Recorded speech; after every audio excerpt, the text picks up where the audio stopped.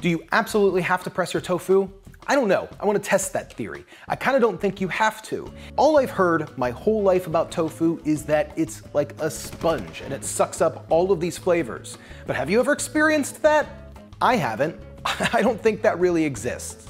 I'm kind of wondering if that 15 to 20 minutes prep time where you're pressing your tofu actually does anything that's worthwhile. So I bought a bunch of tofus. We're gonna press them, not press them. We're gonna bake them. We're gonna sear them. We're gonna make a bunch of versions of tofu and see does it actually make a difference. Now, I also want to try that sucking up, that spongy method and see if that actually works. If you press your tofu and throw it in some marinade, is it gonna taste any better than not pressing it and throw it in marinade? I don't think so. But before we get started pressing our tofus, let's just talk about a few tofu differences that we're gonna be trying today. I didn't buy all of the tofus, I just bought some general ones. First, silken tofu. Now we're not gonna be using silken in our test, but I did wanna talk about it. I didn't wanna leave it out. Silken tofu is your soft, non-coagulated, non-block style tofu. This really does work best when you're doing like sauces with it, when you're blending it up in a smoothie. You can cook this and fry it, but you just have to be very gentle with it. It's gonna be very soft and squishy. Probably not the best for meat replacements. Then we start with our block tofus, which are coagulated tofus. This is the most common tofu. This is what most people know. These come in different varieties from soft, firm, and extra firm. Your extra firm tofu is usually the most popular. It's the star of most shows. It's the meatiest. It's the one that's the densest with the most bite. The extra firm tofu, again, I don't believe it needs to be pressed. I've always pressed tofu, and now I'm wondering if you don't have to. Now, as far as tofu presses, there's a bunch of different variations. People will use books, they use just like rags with a bunch of weights on them. A lot of times they use skillets, sometimes bigger than this one. Or you can get tofu presses. There's a bunch of different styles of tofu press. The one that I had for a long time is like this like screw style. Essentially you just throw the tofu in the middle, you screw it down and you keep squeezing it for 15, 20 minutes until the water kind of pours out. My new favorite tofu press that I'm wondering if I even needed is the tofu bud. Now there's a bunch of different variations of this one, but this one's really nice because it just has a little spring loaded panel inside that kind of helps press the tofu together and it is in about the same size as your tofu block, so it really helps press out that excess liquid. This is probably one of the easiest and best tofu presses that I've ever used. Uh, with the screw style tofu press, you can kind of squeeze a little bit too tight and you might crack your tofu, and if you're trying to make fancy blocks of tofu, that doesn't always work. You want it to be one big solid block, which is where this guy shines. Okay, to test these theories, I bought two of every one of these tofus. I bought two softs, two firms, and two extra firm tofus.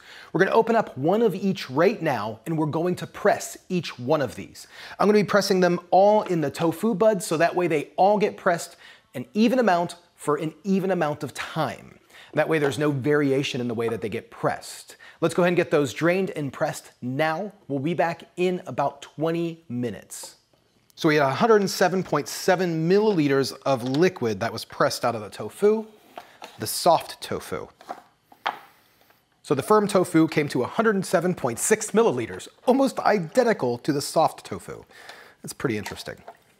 Now, I've never used this boxed style of extra firm tofu. I've never used it. Um, this was a first for me, but this tofu, even though it was extra firm and it didn't say silken, um, I looked at it three or four times after I took it out, but it is definitely more like a silken tofu than your regular, like this is firm tofu. Now we're gonna move on with the rest of these tests, just doing soft and firm. I'm gonna get rid of this extra firm. There's kind of like a tofu shortage going on here in Orlando. I checked out a few of my local grocery stores. None of them had them. Whole Foods didn't have any. It was kind of strange. I went to my local Asian market. That's where I found these. That's where I get a lot of the tofus a lot of times anyways. But they didn't have any extra firm tofu in the box style. All they had in the brick style, all they had was soft and firm. So that's what we're gonna complete the rest of these tests with. We're just gonna kind of toss out this extra firm or, you know, just eat it how it is for now. So to move on with this step, we're gonna cut our soft and firm into three slices. This is our pressed tofu, and we're gonna cut our unpressed tofu into three slices.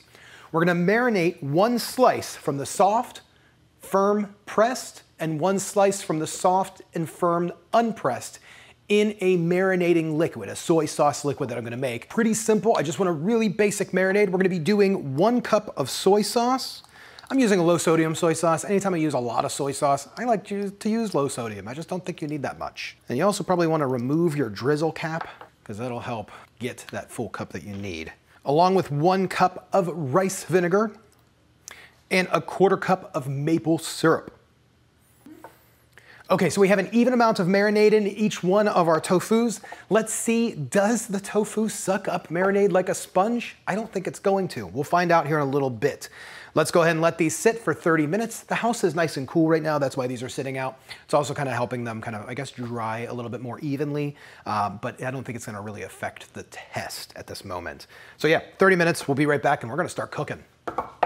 Hey gang, real quick, let me tell you a little bit about today's sponsor, Mudwater. Mudwater is a coffee alternative with four adaptogenic mushrooms and Ayurvedic herbs. Now, I loved my coffee before. I was a coffee nut. I don't know if you've seen some of my Instagram stories where I talk about coffee, but I know that I can't have it like I used to. I can't drink five cups a day every day.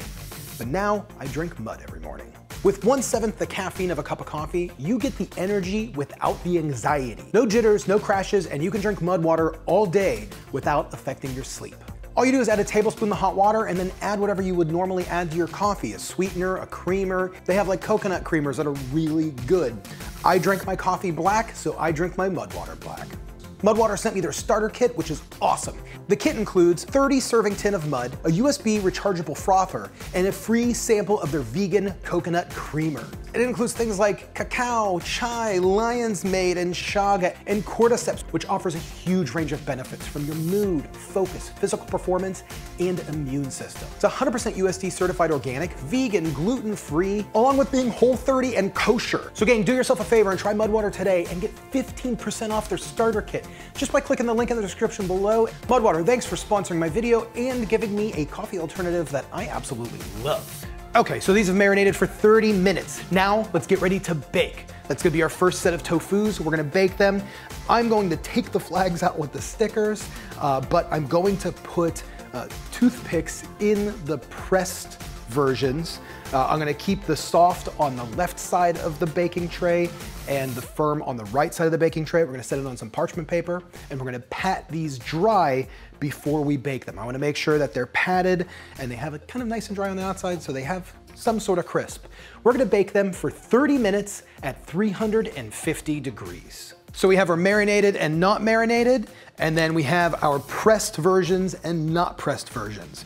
Uh, I'm gonna go ahead and throw these in the oven for 30 minutes, like I said, and then after about 15 minutes, we only need to cook these for 15 minutes, we're gonna use a cast iron skillet. I'm gonna make it pretty hot. I'm gonna put a little bit of oil in the pan, and then we're going to fry, pan fry, each one of these pieces, the pressed and not pressed and marinated, not marinated. And I know these are kind of large slices. I just want to get a nice crispy edge to them and then we'll just try them in smaller bits as we go to try them. Uh, but I'm really excited the way this is gonna come out. I think we're not gonna notice a huge difference between the pressed and not pressed. Uh, we'll see though, we'll see. Okay, so here it is. We have our firm pressed tofu, fried, marinated, fried, baked, and marinated.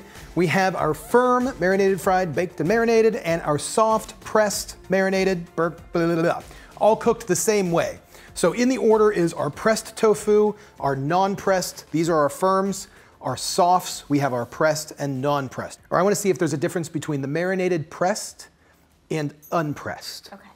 So this one's pressed, and right off the bat, you can see that like no marinade made it into the tofu. So here you go. I know this is a huge piece of tofu, but you can just take a small bite if you want. It's up to you. Cheers.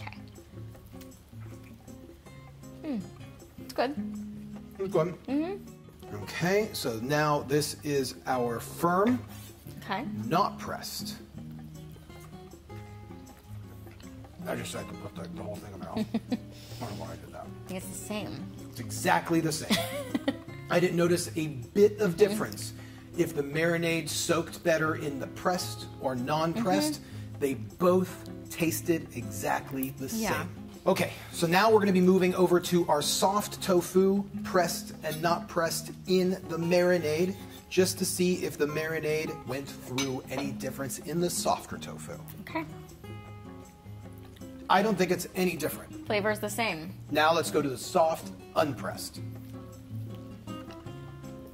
This one's not as good. Oh, I think it tastes exactly the same. I barely taste the marinade.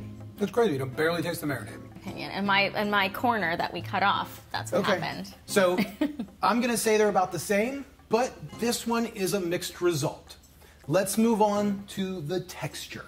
So in this one, we have two pieces of tofu. We have firm pressed and non-firm pressed, both pan fried. We're going to start off with the firm pressed. I've memorized the texture. Yeah. So now this one, this one is our firm, not pressed. There's not that much of a difference.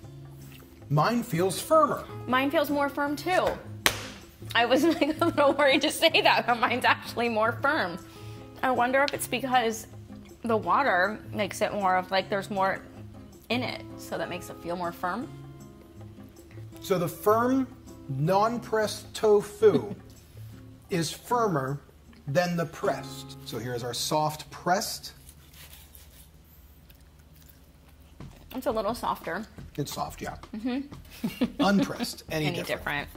So it's softer, but it has the same skin, like the same chewy, crispy outside, but it almost feels, I, I like it better. I like them both different, different, but it's not like it's um like way juicier. It's just softer. It feels know? juicier to me. Oh, okay. So now we're gonna go back to focusing on flavor again. Okay. This version is the firm pressed marinated. Hmm. It's good. Huh? Now let's see if pressing it actually made a difference and try the unpressed. Okay, boom. It still tastes the same. Tastes the same. The pressed didn't soak up any more flavor than the unpressed. Correct. So let's see if the soft goes all the way, does the same thing. This is all over the place with this test, but I think we're proving a point. It's a little less. Slightly Okay. less.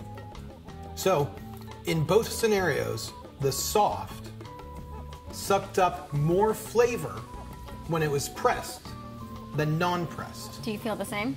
Um, to me, it feels to me it feels like they taste exactly the same. I can't tell the difference, I but do think it's a little, just slightly less. if you can tell the difference, we're gonna allow that to be weighted a few points. I still feel like my whole point of not pressing tofu is, is holding true. Okay. Okay, this is firm pressed. It's a different type of firmness, but I, you can tell the difference between the two. Yeah. I almost feel like the bite into it is almost like more easy, like more smooth, but the firmness is the same. Does that make sense?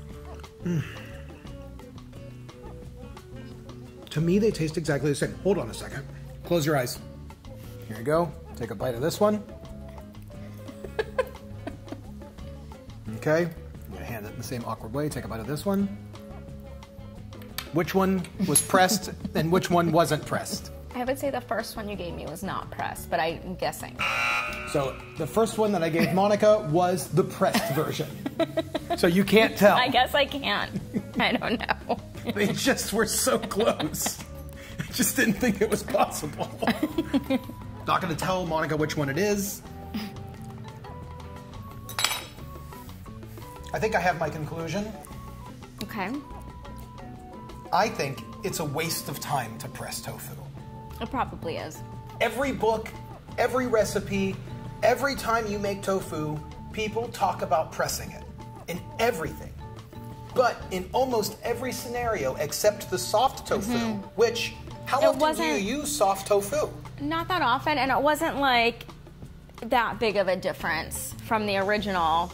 That it, you know, that it's like you need to take the time to press it. So if you're using firm or extra firm tofu, I don't think it's I don't think you need to press your tofu. I think it's a big waste of time. So that's what we got. That's in my opinion what this test proved. I would love to hear what you have to say about it, what you have to think about my testing methods. But I believe with firm and extra firm tofus, there's no difference. And there's people outside blowing lawn equipment all over the place, so we're gonna get going. Okay. I think that was it. I think we've proved my point. That was fun. Yeah, no more pressing for me. All right.